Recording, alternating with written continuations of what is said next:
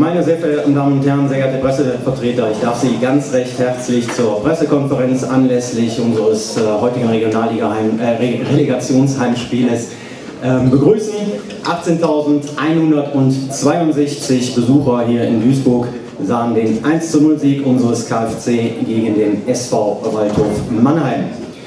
Ähm, ja, auf den anderen Plätzen wurde auch gespielt. Äh, zwei weitere Relegationsspiele. Äh, in dem einen Spiel unterlag der erste FC Saarbrücken 1860 München mit 2 zu 3 und in dem anderen Spiel unterlag Weiche Flensburg Energie Cottbus ebenfalls mit 2 zu 3. Bei mir die Trainer der beiden Mannschaften, die heute hier in Duisburg aufeinander getroffen sind. Zu meiner linken Gästetrainer Bernhard Trares und zu meiner rechten Kfc-Trainer Stefan Kremer. Herr Trares, ich darf Sie dann zunächst um Ihren Kommentar zum heutigen Spiel bitten. Ja, schönen guten Abend alle zusammen. Äh, erstmal Glückwunsch äh, Würdigen äh, zum 1-0-Sieg. Dankeschön. Ja, ich glaube, wir haben ein sehr gutes Spiel gemacht, haben äh, sehr viel Ballbesitz gehabt, haben äh, sehr gut durchkombiniert, haben gute Chancen rausgespielt in der ersten Halbzeit, zwei gute Chancen, Hebe äh, frei vom Torwart, danach Mo nochmal auf dem kurzen Pfosten, sowie in der zweiten Halbzeit mit Gianluca Korte und äh, auch mit Sommer. Ich bin äh, hochzufrieden äh, mit der Leistung von meiner Mannschaft, die ein tolles Spiel gemacht hat. Äh, leider hat uns das Auswärtstor heute gefehlt.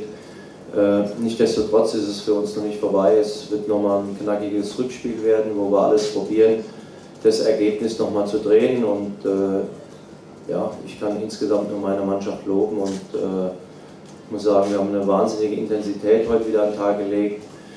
Zum Schluss muss man natürlich zugeben, haben wir noch eine Chance einfach zu viel äh, zugelassen. Ja, da hätten wir vielleicht auch das 2-0 noch kriegen können. Das hat unser Torwart gut äh, gehalten und äh, insgesamt ja, äh, ja, vielleicht ein kleiner glücklicher Sieg auch für, für aber insgesamt haben sie eine bessere Effektivität schon die ganze Saison.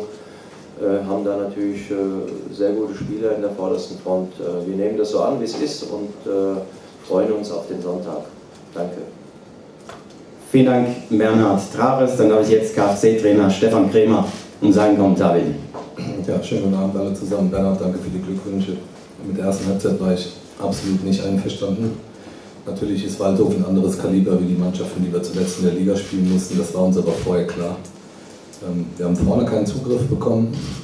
Waldhof war griffiger, auch im Zentrum wie wir. Wir haben zu lange gebraucht, waren nicht handlungsschnell genug. Ich hatte auch den Eindruck, dass der ein oder andere Spieler vielleicht schon mit der ganzen Situation und vielleicht auch der Kulisse so ein bisschen gehemmt war, weiß ich nicht genau. Ähm, und, und Waldhof hat gut kombiniert. Wir haben kein, kein, keine gute Raumaufteilung gehabt. Wir waren immer einen Schritt zu spät. Und ähm, unser, unser Pressing, das in der Liga jetzt sehr gut funktioniert hat, ist überhaupt nicht zum Tragen gekommen. Erste Halbzeit. Zweite Halbzeit haben wir es ein bisschen umgestellt, dann wurde es deutlich besser. Eigentlich mit der 46. wird es deutlich besser. Haben dann äh, viele Ecken geholt, viele Standardsituationen, haben auch ähm, körperlich dann nachher einen besseren Eindruck gemacht als in der ersten Halbzeit. Hinten raus können wir zum Glück körperlich immer noch mal aufs Gaspedal treten, ähm, auch wenn der ein oder andere Spieler jetzt am Ende der Saison nach so einem langen Jahr fast schon Krämpfe bekommen hat. Da sieht man, wie intensiv auch das Spiel war. Aber mit der zweiten Halbzeit kann ich sehr gut leben. Ähm, aber wir wissen ganz genau, dass das noch ein ganz heißer Tanz wird am Sonntag. Wir haben eine vernünftige Ausgangsposition, nicht mehr.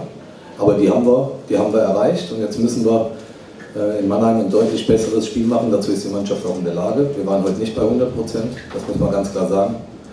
Und wir müssen uns äh, in vielen Bereichen steigern, wenn wir, wenn wir am Sonntagabend in der dritten Liga sein wollen. Das weiß die Mannschaft auch. Die Jungs sind extrem selbstkritisch, haben eben in der Kabine auch schon sich eingeschworen auf den Sonntag. Wir müssen jetzt schnell, möglichst schlau regenerieren, alle Kräfte sammeln und dann ähm, ja, geht's, geht's ab nach Mannheim und dann wird es ein Spiel auf Biegen und Brechen.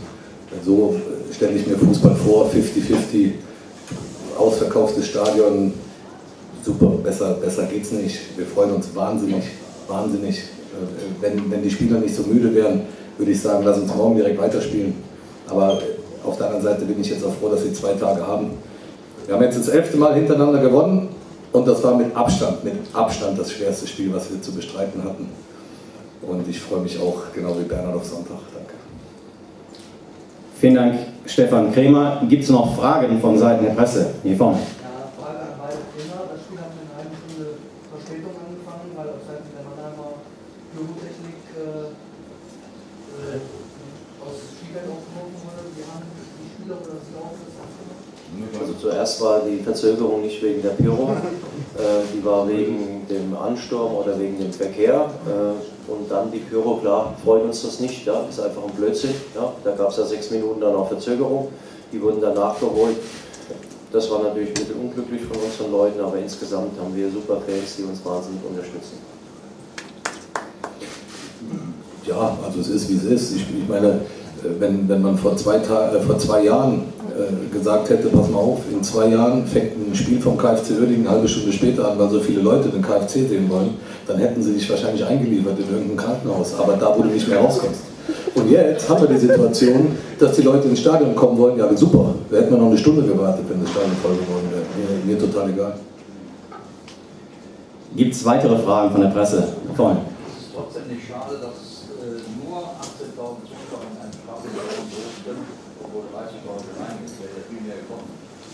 Dass man 12.000 Plätze freilässt. Wo führt das hin? Naja, erstmal müssen wir dem MSV dankbar sein, dass es eine Lösung äh, gab, dass wir relativ nah an Krefeld dran spielen konnten und unsere Fans so die Möglichkeit hatten, ähm, hier hinzukommen. Ähm, alles andere, diese politischen Entscheidungen, weiß ich nicht, da kann ich nichts zu sagen. Ähm, 18.000 finde ich für einen Donnerstagabend ähm, finde ich eine stattliche Zahl und muss sagen, ähm, die, die Leute haben uns wahnsinnig unterstützt. Ich weiß auch, dass unser Auswärtskontingent innerhalb von ein paar Stunden ausverkauft war. Es werden 3.000 äh, Leute aus Krefeld mitfahren am Sonntag und dann gucken wir mal, was passiert. Gibt es noch weitere Fragen? Scheint nicht der Fall zu sein, dann darf ich mich für Ihre Aufmerksamkeit bedanken. Unseren Gästen aus Mannheim einen angenehmen Heimweg. Wir sehen uns am Sonntag. Ich hoffe, den einen oder anderen von Ihnen sehe ich auch am Sonntag. Vielen Dank nochmal an den MSV für die Bereitstellung hier der Arena und noch einen schönen Abend wünsche ich und euer KFC Uerdingen.